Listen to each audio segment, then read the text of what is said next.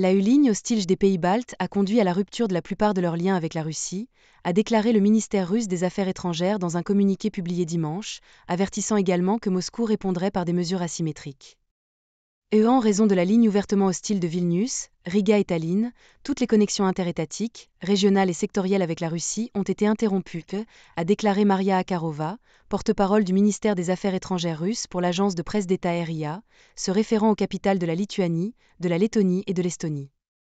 Elle a ajouté que Moscou continuerait à utiliser des mesures diplomatiques pour influencer les pays baltes.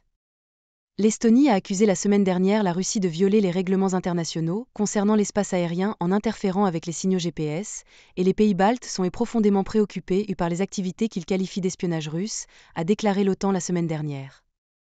Zakharova, sans spécifier quelles mesures Moscou prendrait contre les pays baltes, a déclaré que Moscou répondrait aux actions hostiles de la Lettonie, de la Lituanie et de l'Estonie avec des mesures asymétriques.